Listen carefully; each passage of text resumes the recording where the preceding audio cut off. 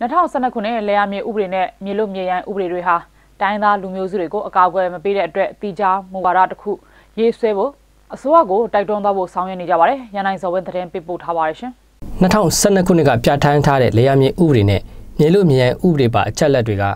တိုင်းသားလူနည်းစုတွေရဲ့ရိုးရာမြေယာစီမံခန့်ခွဲမှုဒလိမတူညီတဲ့အတွက်အခက်အခဲဖြစ်နေတာပါ။ ဒါကိုနိုင်ငံတော်အစိုးရကတည်ရှိစေပြီးတော့တာဝန်ဖြည့်ရှင်းပေးဖို့အတွက်စာတမ်းပြုစုပြီးအစိုးရကိုတိုက်တွန်းသွားဖို့တိုင်းရင်းသားအရက်ဖက်အဖွဲ့အစည်းတချို့ကဆောင်ရွက်နေတာဖြစ်ပါတယ်။တိုင်းရင်းသားအချို့ကတော့ဒေသဆိုင်ရာလယ်ယာမြေစီမံခန့်ခွဲပိုင်ခွင့်ကိုဥပဒေဒါမှမဟုတ်မူဝါဒတစ်ခုချမှတ်ပေးဖို့လိုအပ်တယ်လို့ဆိုပါတယ်။ကျွန်တော်တို့ဒီ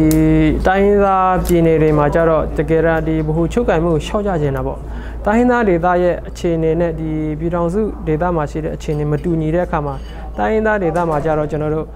ဒီတိုင်းရင်းသားဒေသရဲ့ ဒေတာနဲ့နော်တင့်လျော်တဲ့နော်အဲဥပဒေကိုဒီတိုင်းရင်းသားဒီပြည်နယ်အစိုးရကနော်တဆင့်လျှော့မှမူဝါဒရေးမှနော်အဲ့ဒီမူဝါဒကိုနော်ဒီဒလေးထုံနှန်းစင်လာဥပဒေနဲ့နော်ကိုက်ညီ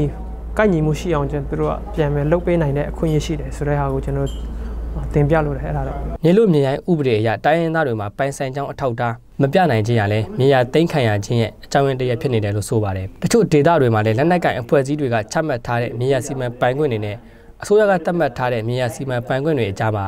ဒေသခံတိုင်းရင်းသားတွေကြားညက်နေတာတွေလည်းရှိနေတယ်လို့ဆိုပါတယ်ကျွန်တော်တို့ဒီလောက်တဲ့တတိသနာရဲ့ကိုကျွန်တော်တို့အသုံးပြုပြီးတော့ဟိုကရိယာတစ်ခုအနေနဲ့ကျွန်တော်တို့ဒီနိုင်ငံတော်အစိုးရကို advocate လုပ်ဖို့ပေါ့နော်